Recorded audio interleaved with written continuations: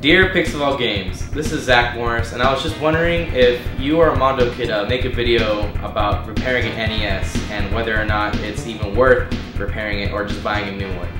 Greatly appreciated, Zach Morris. How's it going, Zach Morris? Thanks for that question. And um, well, today I got you covered. So we're gonna get started on the things that you're gonna be needing. So first off, screwdriver. You're gonna be, actually need a screwdriver because there's six screws to open this thing up. Uh, secondly, one of my favorite tools to use is this right here. It's a hook. Now this one I kind of modified it to kind of like fit my need on this one and we'll get to that right now and show everybody. So those are mainly the tools that you're gonna be needing. Uh, the rest of the tools, we'll get to that in a minute because this is what came in uh, just like always. It just always comes in and I mean, Nintendos are pretty reliable, so I'll show everybody what to do. You don't need to buy a new 72 pin or anything. I'll show you guys. So first thing, your Nintendo. First thing I do is uh, I flip it over, okay? So flip it over, take this tab off from the bottom, get the screwdriver. So there's six screws you have to worry about. So normally, get all the screws loosened up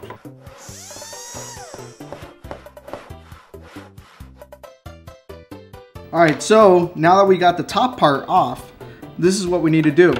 Get all the screws out. Now I'm talking about all these screws that are right here. And please note where they're all at because of this heat shield. So take every little screw off because you need to take take off also the pin connector. But it's important, there's actually two screws that you do need to worry about. There's only two screws that are actually the longest ones and I'll show where those are only at. The rest should be easy.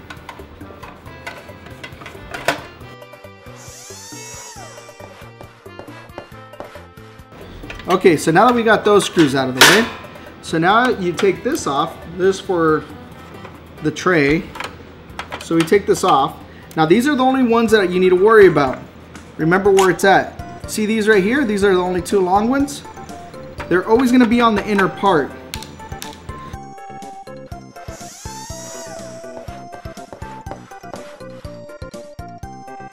So now everything should be loose. So first thing that I do, take everything off. So you take that, the controller ports, take the whole power uh, power strip off right there. Don't be scared, guys. One of the things is do not be scared of opening this up. It's very primitive, so so put this aside, put it there. Now the bottom piece, take this off. This right here, the pin connector, take that off. We'll get to this one right now in a minute. So, this is where this comes in handy. Now, just keep this in mind, guys. See this part right here, this square? And here's the lockout chip. Now, this right here makes the Nintendo flash on and off and on and off when the game is dirty or isn't correctly inserted. So, it's annoying. So, let's disable this. So, Here's one of the ways you can kind of guide yourself. There's on this, there's four little legs. One of the ways is always find that little plus sign right there. Or just count one, two, three, four. But remember, from this square right there, that's the first one, okay? So let me disable that. One of the things, grab your hook. Grab your hook and then just pull it back. Okay, so see if we can focus on that. That's all you need to do, guys. Just break that leg. Break a leg, guys. Now, you might get a chance if you find like a whole bunch of dust bunnies in there. It's not that, this was not that bad, but there's a lot of them that are just full of dust. That, now's the time to actually just get in there and start, you know, dusting everything off. Or if it's yellow, you know, we'll get to that in another part of the video. Now, here's where things get crazy now. Sometimes uh, Nintendo games, obviously they don't work and, you know, people have to put them in, put them down. They have to clean them, do all kinds of crazy stuff. All I do with this hook, you get in there.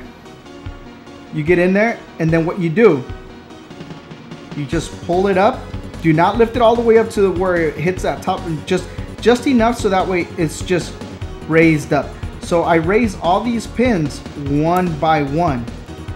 One by one, guys. Just take your time you ain't gonna break it. But you know, it's better using the original Nintendo NES pins. Just the fact that they're like gold plated in a way, they're bronze color, and it's it's actually makes better conduction with the Nintendo games than those new 72 pins that they sell online. Those are just galvanized, and all you do, you're just gonna be struggling with that every time you put in the game and take it out. So remember, guys, just one by one, guys. All right, guys, so now you guys got this done. Obviously, you know, all the pins are already raised up. So this is what you're gonna do. So this, the smaller part goes here, back here. So now we're gonna start putting everything back together.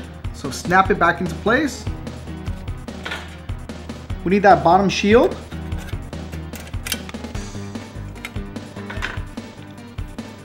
The tray.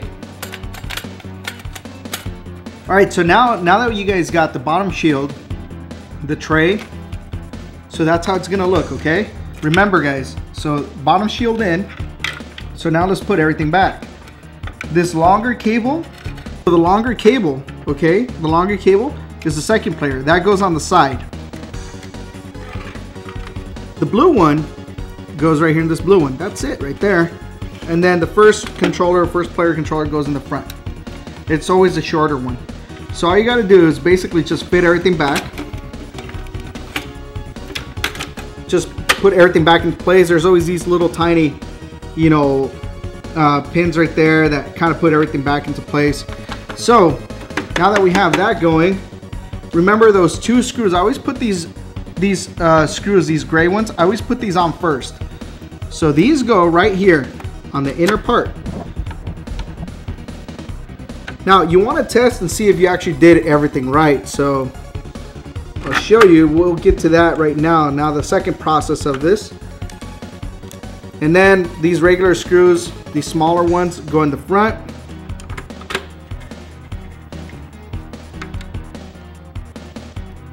Now we'll get to putting everything back together. So right now, I just want to show everybody something else. All right, for right now, let's put this on the side.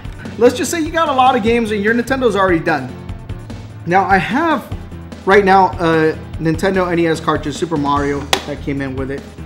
So what I use to always clean this, I use Brasso. Uh, you could get it anywhere. You could probably get it like a, a supermarket, Target, Walmart. So I just basically just dabbed it. It's it's already pre-mixed with alcohol. So what you're gonna do is get a Q-tip, get some Brasso, get in there. Now really get in there. Don't be scared of cleaning this thing. So, all you're gonna do is basically shine up the, the pins on this thing. So that way it makes better connection with the Nintendo NES. Look how dirty this thing is. And that's why a lot of people think, oh, blowing on it. But no, guys, don't blow on your games. Please don't blow on the games. Um, I'm not gonna get to opening the cartridge. I'm just doing like a quicker thing of how to basically just clean a Nintendo NES cartridge. And this is actually going to be a lot better every time you guys put that game in there. So just get in there, really scrub the whole thing. And then once you guys are done, make sure you get a nice clean one and then just take this off. Just take the excess off. And even though you guys see that it's still clean, you're still gonna get something out. So, like that. So, here's the next step, guys. Now let's put the Nintendo NES back together. And then I'll show you guys another little trick.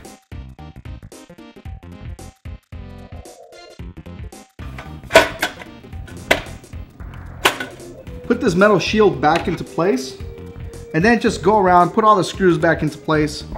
Now this one was already, when I got this one in, it was missing two screws. So that's why I didn't put two screws on the back of that. It's really not necessary, but you know, I'm pretty sure all the Nintendos have their own screws. So, so all you have to do is just basically just zip through the whole thing and put all your screws back into place. Okay, all right, so by now you got all the screws back into place. So now let's put this thing back together. And everybody is used to, like every time you put in a game, you're used to just basically just putting the game in there and then just smashing it down. So we'll get to that. There's a reason why we did the whole pin system on this thing. So remember, there's six screws. You should be left off with six screws after you're done doing the whole thing.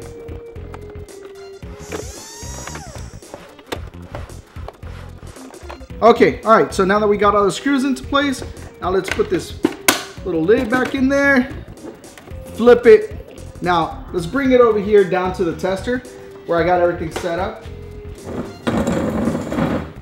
So here we have an NES playing. This is how it should be playing. Now, as you can see, it's got the Nintendo NES game raised up. You don't have to push it down. Now, you could if you want to, but that's how it works. So, let's turn this one off. And let's see how this works. Now, let's put this one in here. Just put the connections back onto this one. All right, so now that we got the game in there, remember, don't push it down. So we just insert it in, power button, bam, there you go, first try. So remember guys, raising those pins and cleaning it, cleaning those things up thoroughly with just alcohol, okay? Do not use Brasso on the pins. So, that's it. That's all you gotta do. Now let's do this again. One more shot. So, the game in. First try. Every time you do that. So remember, clean the game thoroughly and do that. Exactly. So there you go. Hopefully that worked out for you, Zach Morris. And uh, hopefully, you know, if you guys got any other questions or any other issues, uh, leave us a comment and I'll be able to help you guys out just in case any little troubleshooting just let me or carlos know and then we'll be able to help you guys out now watch out for next future videos on how to repair uh, sega game gear or maybe if you guys got any other suggestions i'll be more than happy to help you guys out so till next time guys thank you guys for watching and remember to leave a like and a subscribe